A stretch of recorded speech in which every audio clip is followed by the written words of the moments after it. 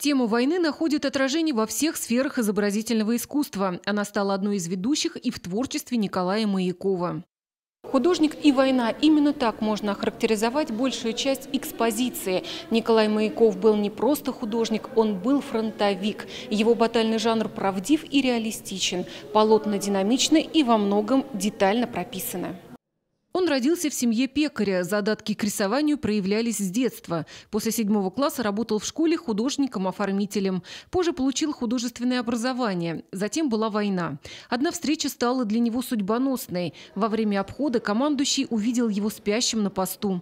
Прознав о художественных способностях молодого связиста, вместо штрафбата дал задание – за одну ночь нарисовать портрет с маленькой фотографией. Это был герой Советского Союза Иван Конев. И он, когда увидел этот портрет, он сказал, выживи, солдат, запомни все, что здесь увидишь, ведь люди забудут.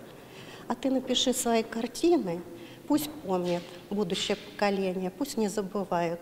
И он через всю жизнь пронес этот вот, ну как девиз его, ради памяти павших во имя живых. Многие его произведения по накалу патриотических чувств, художественному мастерству и эмоциональности считаются непревзойденными. Эта выставка, она э, очень интересна будет для подрастающего поколения. Если школьники придут и увидят эти картины, они воочию увидят, как это было. То, что художник это видел, пережил, все видел, прочувствовал своими глазами.